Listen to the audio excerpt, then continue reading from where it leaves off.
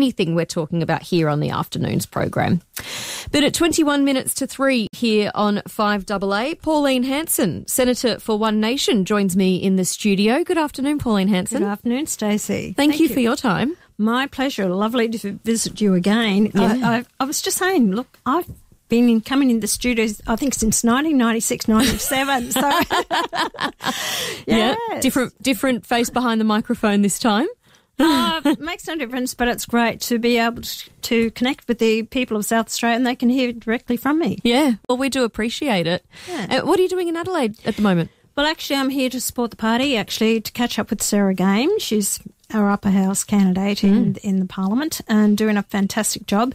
And uh, to we have we've got a huge big speaking engagement tonight. I think there's over 500 people yeah. that's turning up tonight at the convention centre. So Malcolm Roberts, Senator Malcolm Roberts, is here with me as well, and Sarah Game tonight. So it's connecting with the people, and I think you have to communicate with the people so they know what's going on. Yeah, yeah, and in that communication, do you have much uh, um, that you want to talk to your supporters in South Australia about the One Nation Party in SA? Obviously, Sarah Game uh, was elected uh, two years ago in the state election.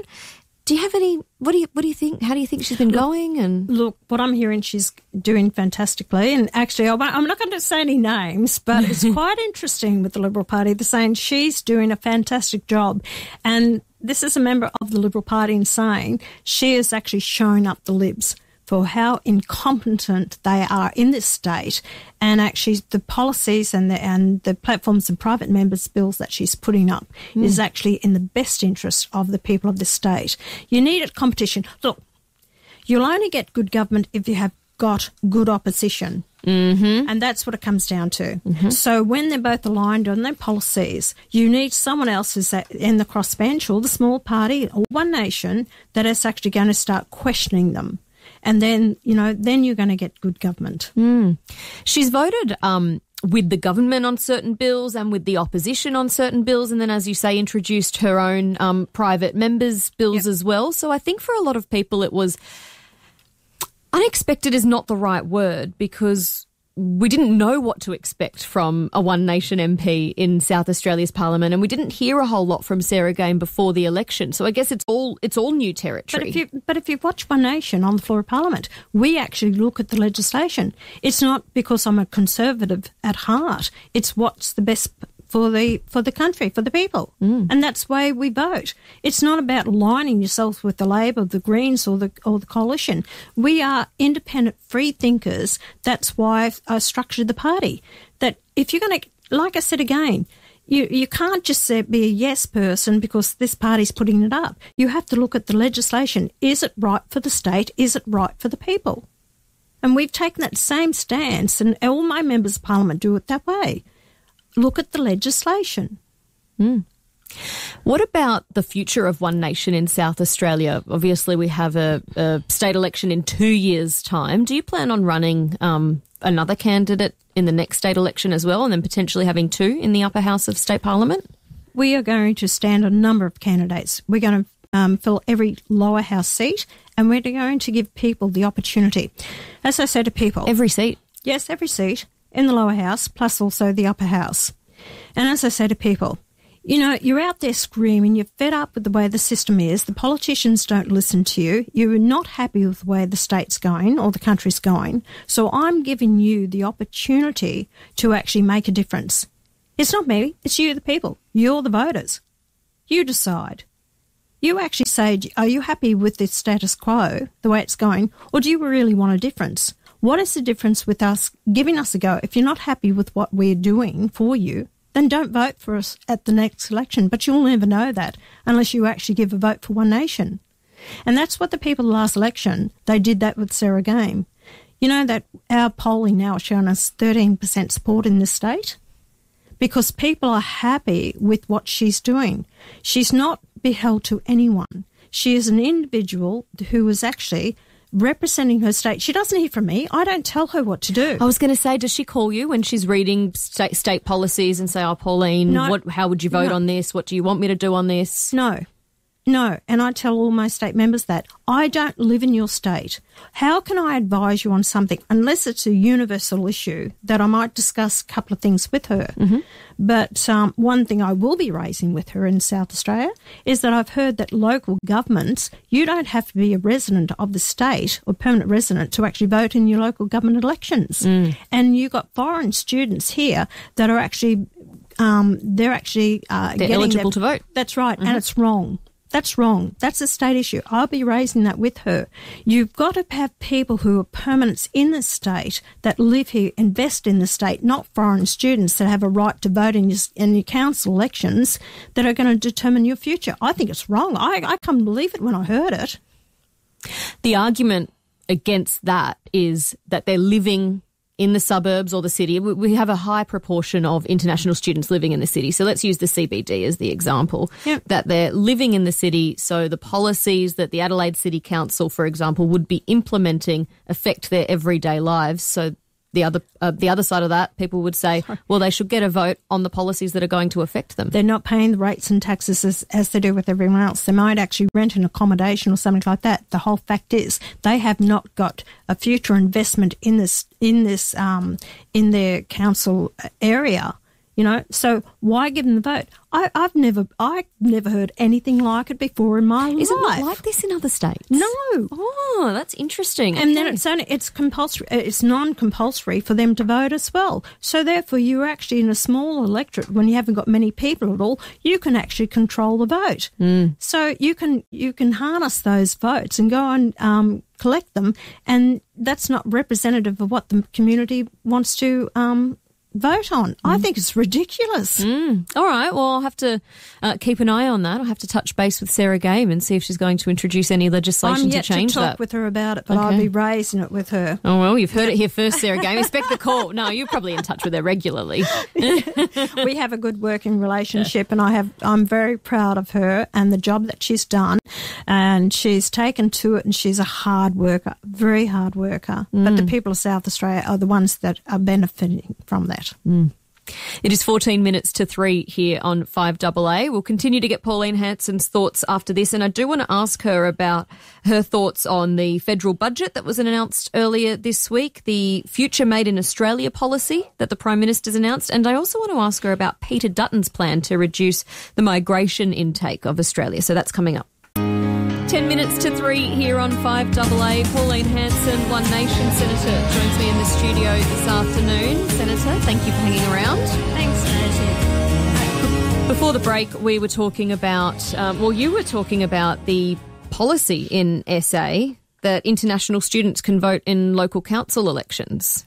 Yes. And that's something you'd like your um, state MP, Sarah Game, to look at. Yes, I do. Mm-hmm. I think it should come under. Uh, it, I presume it should come under the state legislation. Yeah, so yeah. the local know, government do, act. I think right, it would local, be. Yeah, that's right. So um, I think she needs to to look at it because if you've got international uh, students here, you know what skin in the game do they have? They're only here for a year or two and doing their their degree, whereas council elections are held and you've got councils there for four years plus. Mm. So therefore, any decisions that are made is going to take it beyond their time being here. So if they haven't grown up here, they don't have any connection to to the area. Why just because they're here and they utilise services that you're going to give them a vote?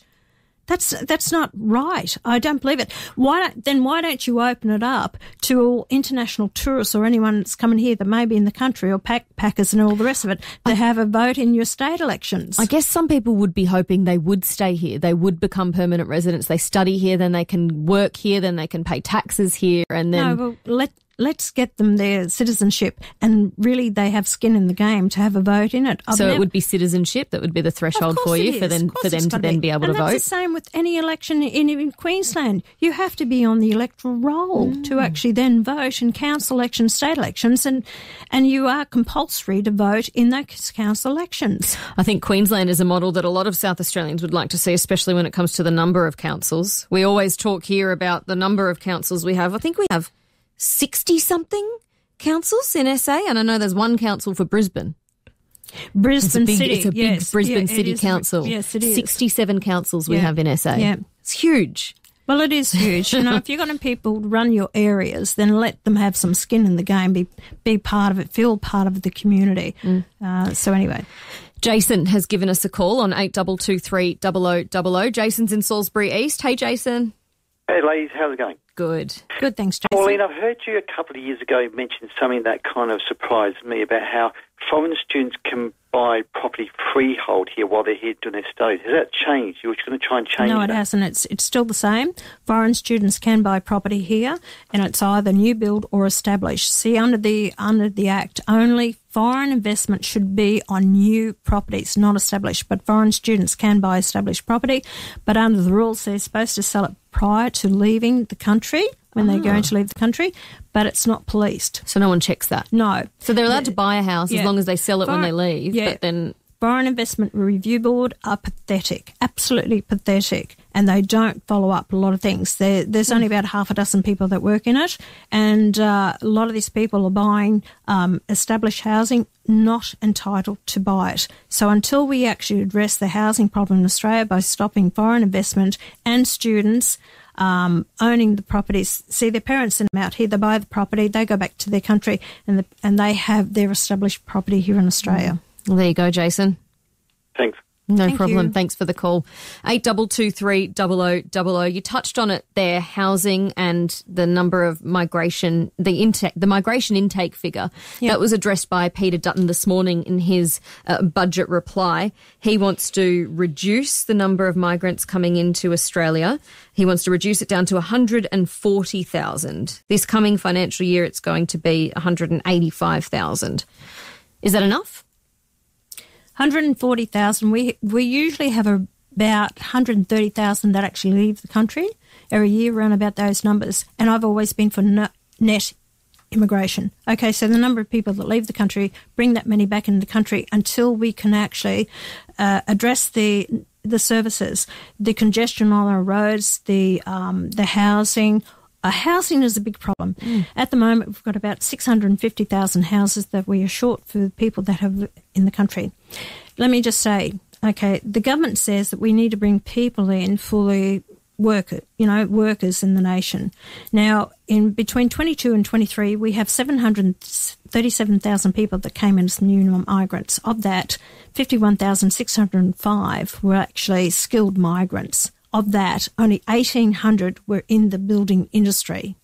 That's all we had. So a lot of the people we were bringing in were general managers, hairdressers, people skills that we don't need. So we're not bringing in the people that we need. They might not have been builders, but they may have been nurses, Tradies. No, no, no, teachers, no, IT 18 workers. We need nurses and teachers. Of course, we need that. But why don't we go back and address the, the nurses and the teachers that lost their jobs because of COVID and still can't get employment?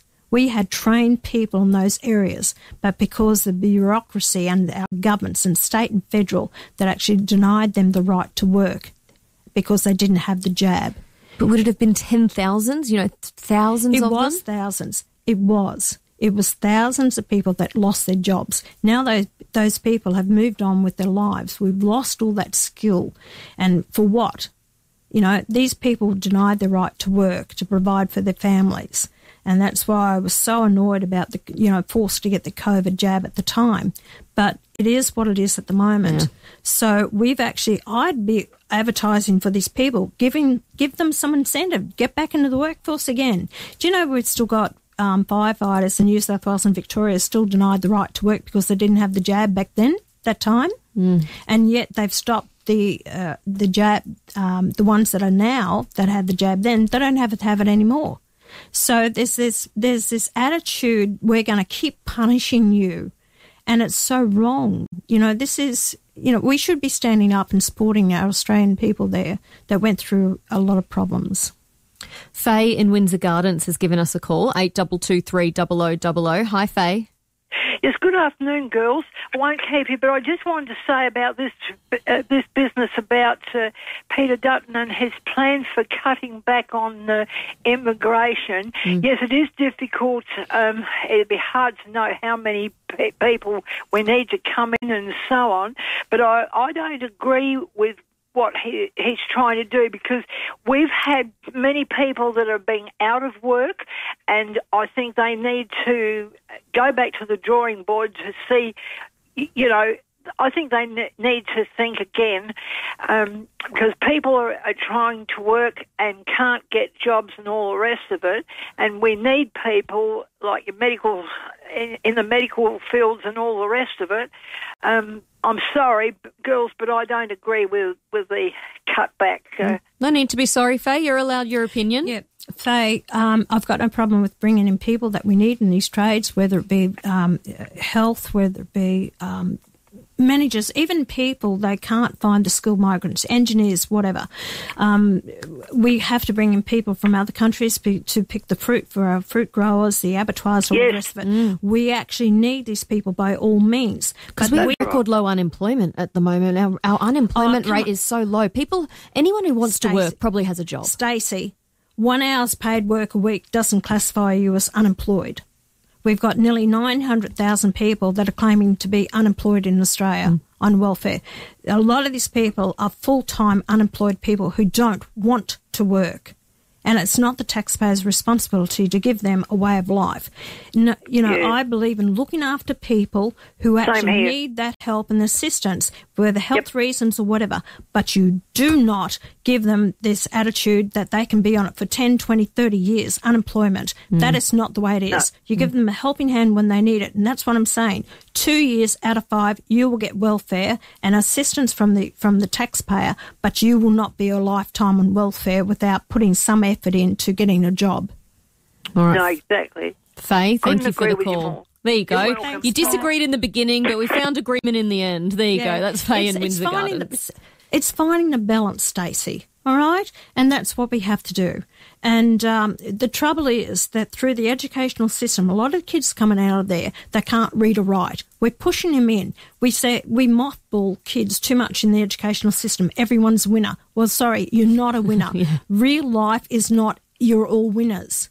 And so until we change the attitude that we have in the educational system, we're actually the woke identity, gender dysphoria, all this other rubbish that's going on.